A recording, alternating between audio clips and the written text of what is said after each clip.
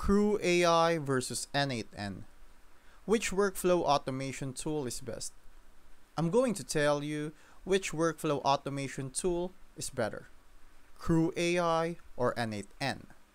Crew AI is a newer tool that focuses on automating business processes with a heavy emphasis on AI integrations.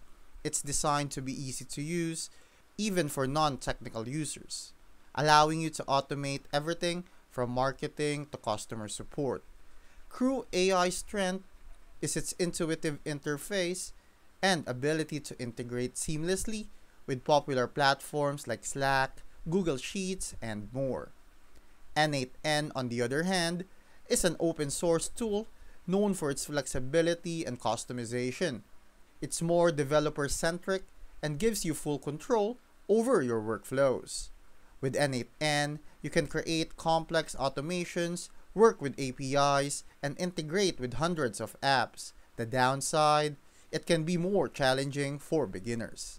So, Crew AI if you want an easy to use AI driven solution with pre built integrations. Choose N8N if you need full control and are comfortable with a more technical setup.